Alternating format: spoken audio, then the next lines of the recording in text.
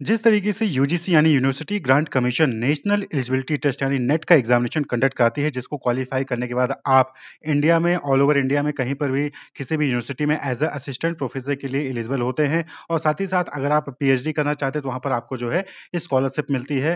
तो उसको qualify UGC NET का एग्जामिनेशन आपको क्वालिफाई करने के बाद वहाँ पर आप जो है असिस्टेंट प्रोफेसर की तरह जो है किसी भी यूनिवर्सिटी या कॉलेज में आप अप्लाई करते हैं, उसके लिए एलिजिबल हो जाते हैं। तो उसी तरीके से गुजरात स्टेट में जो यूनिवर्सिटीज हैं या फिर जो कॉलेजेस हैं, वहाँ पर अगर आपको as a assistant professor work करना है तो उसके लिए आपको जी सेट जी सेट यानी कि Gujarat state eligibility test qualify करना होता है।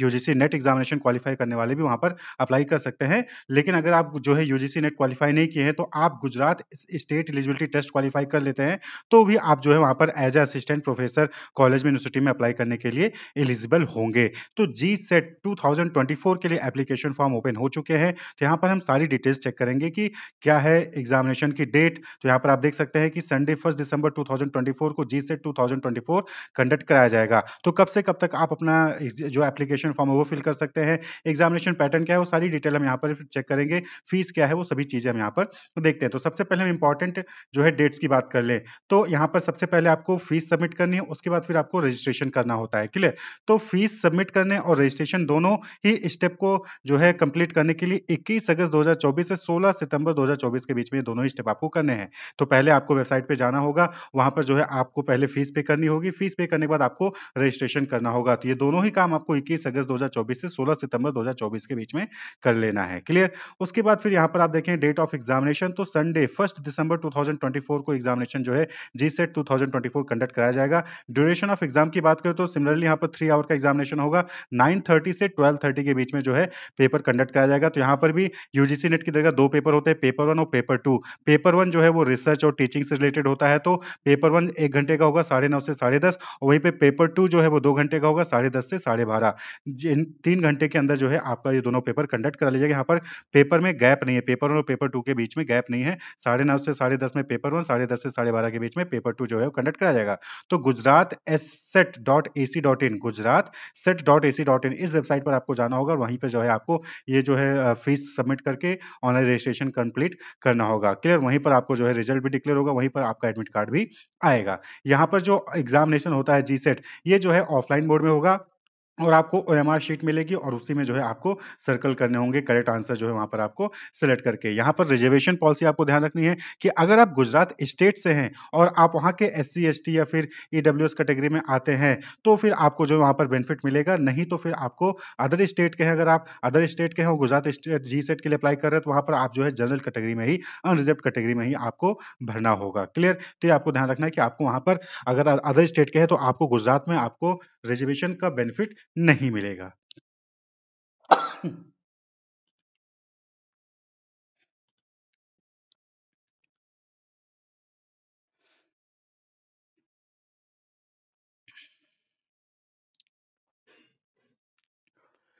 गुजरात स्टेट एलिजिबिलिटी टेस्ट के जो सर्टिफिकेट है, वो ई सर्टिफिकेट ही प्रोवाइड किए जाएँगे, जैसा कि यूजीसी नेट में होता है। तो ई सर्टिफिकेट होगा हार्ड कॉपी में आपको वहाँ पर प्रोवाइड नहीं की जाएगी। साथ ही साथ आपको ध्यान रखना है कि यहाँ पर जो एप्लीकेशन फॉर्म है, वो आपको संभाल के रखना है और एडमिट कार्ड भी संभाल के रखना है। अगर आप क्वालिफाई हो जाते हैं तो उसके बाद जब भी आप कहीं पर अप्लाई करेंगे कॉलेज में यूनिवर्सिटी में तो वहाँ पर वेरिफिकेशन के लिए वो दोनों ही चीज़ें मांगी जा सकती हैं। और इसको ऑनलाइन एप्लीकेशन को आपको भेजना नहीं है कहीं पर भी, आपको संभाल के रखना है अपने पास ही। ऑनलाइन ई सर्टिफिकेट जो है, वहाँ पर आपको मिलेगा, वो भी आपको अपने पास संभाल के रखना होगा। G SET agency will not issue any marksheet to qualified और नॉन क्वालिफाइड कैंडिडेट यहाँ पर हम बात कर लें कि कितना परसेंटेज होना चाहिए। तो सबसे पहले हम देखें कि किस किस सब्जेक्ट में होता है।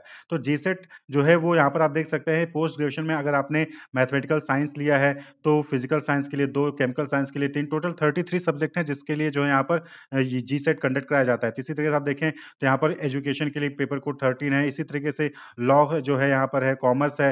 तो इंग्लिश और गुजराती दोनों लैंग्वेज में होगा। इंग्लिश और गुजराती कॉमर्स भी दोनों लैंग्वेज होगा। मैनेजमेंट आप देखें तो सिर्फ़ इंग्लिश में ही अगर ये गुजराती में नहीं है तो यहाँ पर आपको बताया गया है कि कौन सा है जो कि हिंदी में होगा, कौन सा है जो कि इंग्लिश में होगा, कौन सा है जो कि इंग्लिश और गुजराती दोनों में ही होगा। तो टोटल थर्टी सब्जेक्ट में जो है जी सेट टू को कंडक्ट करा जाएगा। बात कर ले फ़ीस की तो नाइन प्लस बैंक चार्ज होगा जनरल जनरल ईडब्ल्यू और S non creamy layer candidates के लिए। वहीं पर सात होगा plus bank charges S C third gender candidate के लिए और सौ रुपए होगा फिजिकली डिसेबल्ड जो होते हैं डिफरेंटली एबल्ड जो कैंडिडेट होते हैं, उनके लिए होगा हंड्रेड प्लस बैंक चार्जेस तो ये जो है फ़ीस है। अगर आप जनरल जनरल ई या फिर एस यानी ओबीसी नॉन क्रीमी से आते हैं, गुजरात स्टेट के हैं तो नौ सौ रुपए आपको बैंक प्लस बैंक चार्ज आपको देना होगा। एस सी थर्ड जनरल सात सौ पीडब्ल्यू डी के लिए सौ रुपए यहाँ पर आपको सबमिट करना होगा। क्लियर ऑनलाइन पेमेंट होगा यहाँ पर, आपको ये चीज़ ध्यान रखनी है। तो आपको जो है वेबसाइट पर जाकर वहाँ पर अप्लाई करना होगा। Condition of eligibility only those candidate are eligible to appear in the G SET who have completed or studying in the final year of UGC specified master degree in a subject of G SET तो जो तैंतीस subject है जिसमें जी set conduct किया जा रहा है, अगर उनसे आप जो है मास्टर डिग्री कंप्लीट कर रहे हैं फाइनल ईयर में या फिर कंप्लीट कर चुके हैं तो आप जो है यहाँ पर अप्लाई कर सकते हैं। रिजर्वेशन पॉलिसी का बेनिफिट उन्हीं को मिलेगा जो गुजरात स्टेट से है। The candidate of other state other than Gujarat state belonging to reserved category shall be treated as general category candidate तो आपको यहाँ पर ध्यान रखना है क्लियर तो पोस्ट ग्रेजुएट आपने कर लिया है या फिर आप जो है फाइनल ईयर में हैं तो आप यहाँ पर अप्लाई कर सकते हैं। जनरल अनरिजर्व या फिर general EWS candidate who have secured at least 55 percent marks without rounding off यानी कि 54.9 या 54.5 है ये नहीं 55 या फिर उससे ज़्यादा है, इन मास्टर डिग्री और इक्विवेलेंट एग्जामिनेशन तो वो जो है यहाँ पर अप्लाई कर सकते हैं।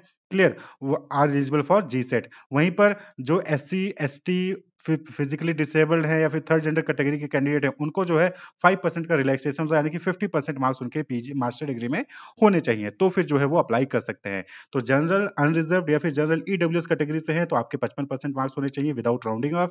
वहीं पर अगर आप रिज़र्व कैटेगरी से है, गुजरात स्टेट के जो रिज़र्व कैटेगरी है, OBC S C S T PW third gender तो उनको फिफ्टी परसेंट मार्क्स होना चाहिए पीजी में तो वो जो है यहाँ पर इसके लिए अप्लाई कर सकते हैं। क्लियर तो यहाँ पर आपको ये चीज़ ध्यान रखनी है। फाइनल ईयर के कैंडिडेट है तो उनको भी ये क्राइटेरिया फुलफिल करना होगा। जैसे उनका रिज़ल्ट आता है तो ये चीज़ ध्यान रखना। अगर उनका मार्क्स कम होंगे तो उनकी एलिजिबिलिटी ऑटोमेटिकली कैंसिल हो जाएगी। क्लियर यहाँ पर एक चीज़ और है कि candidate who has already qualified GSET in a subject will not be allowed to appear again for G SET in the same subject यानी कि अगर सपोज़ करें कि आपने मैनेजमेंट से G SET Gujarat state eligibility test qualify कर लिया है तो आप दोबारा से उस सब्जेक्ट में क्वालिफाई नहीं कर सकते, दोबारा से उस सब्जेक्ट के लिए आप अप्लाई नहीं कर सकते, किसी और सब्जेक्ट के लिए आप अप्लाई कर सकते हैं। तो ये चीज़ आपको ध्यान रखना है। अगर आप अप्लाई कर भी देते हो तो ये चीज़ क्रॉस चेक की जाएगी और वहाँ पर अगर आप पाए जाते हैं तो आपका कैंडिडेचर कैंसिल कर दिया जाएगा।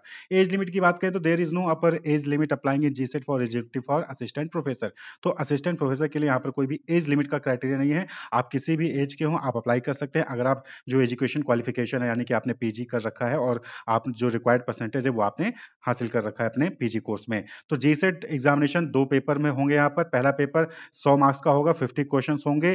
ठीक है कंपलसरी पेपर है वहीं पर दूसरा पेपर 200 मार्क्स का होगा हंड्रेड क्वेश्चन होंगे, वो भी कंपलसरी है। यानी कि आप सिर्फ़ पेपर वन दे के आ रहे हैं या फिर सिर्फ़ पेपर टू दे के आ रहे हैं तो आपका कैंडिडेट कैंसिल हो जाएगा। आपको दोनों ही पेपर देना ज़रूरी है। तीन घंटे का पेपर होगा, साढ़े नौ से साढ़े बारह के बीच में।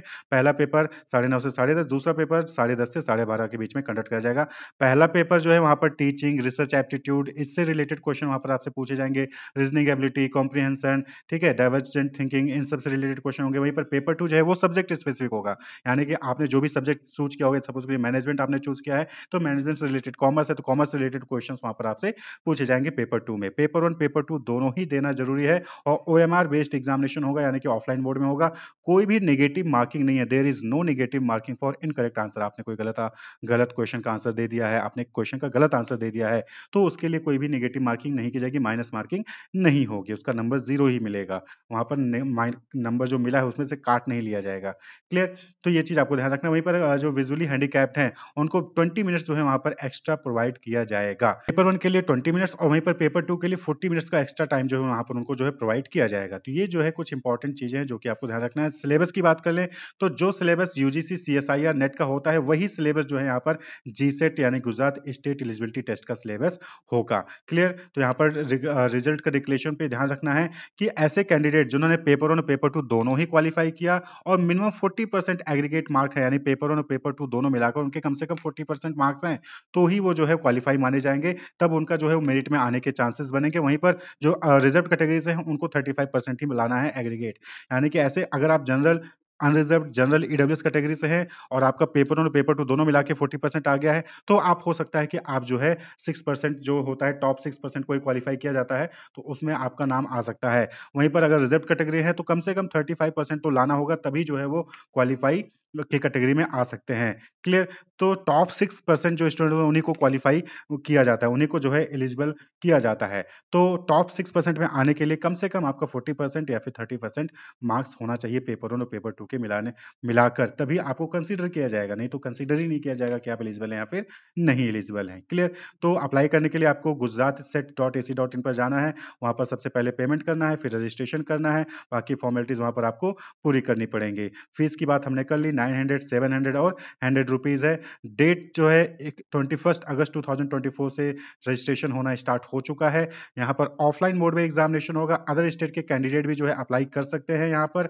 और 21 अगस्त से 16 सितंबर 2024 के बीच में रजिस्ट्रेशन कर लेना है। एक दिसंबर एक दिसंबर 2024 को संडे को इसका एग्जामिनेशन कंडक्ट किया जाएगा, साढ़े नौ से साढ़े बारह के बीच में। एडमिट कार्ड वेबसाइट पर रहेगी। आपको जो है वेबसाइट कंटिन्यूस बेसिस पे चेक करना है। जो भी चेंजेस होंगे, जो भी अपडेट होगा, वो सारा का सारा आपको वेबसाइट पे मिल जाएगा। तो आपको Gujarat SET dot A C dot in की वेबसाइट पे आना है। तो ये Gujarat state eligibility test for assistant professor की वेबसाइट है। तो यहाँ पे आप देख सकते हैं महाराजा सयाजी राव यूनिवर्सिटी ऑफ़ बड़ौदा ये जो यूनिवर्सिटी कंडक्ट करा रही है जी से 2024 तो यहाँ पर से आप क्लिक करके इन्फॉर्मेशन बुलेटिन जो है डाउनलोड कर सकते हैं, जहाँ पर कंप्लीट इन्फॉर्मेशन आप पढ़ सकते हैं। तो यहाँ पर आएँगे तो आप देखेंगे, सबसे पहले स्टेप वन है पे एग्जामिनेशन फ़ी उसके बाद एग्जामिनेशन फ़ी पे करने के बाद आपको रजिस्टर ऑनलाइन फॉर जी ये जो है आपको कंप्लीट करना है। तो इक्कीस अगस्त से सोलह सितंबर के बीच में आपको कंप्लीट करना है। तो पे एग्जामिनेशन क्लिक करेंगे तो यहाँ पर आपको दूसरा पेज ओपन होगा, जहाँ पर आप देखेंगे कि आपको पहले अपना नाम birth date email mobile number subject आपको चूज़ करना है, जिसमें आप अप्लाई कर रहे हैं एग्जामिनेशन सेंटर कहाँ चाहते हैं कैटेगरी क्या है आपकी, और पीडब्ल्यूडी कैटेगरी ये आपको सेलेक्ट करना है फ़ीस जो है यहाँ पर आपको शो जाएगी, इस चेक बॉक्स पे क्लिक करना होगा और फिर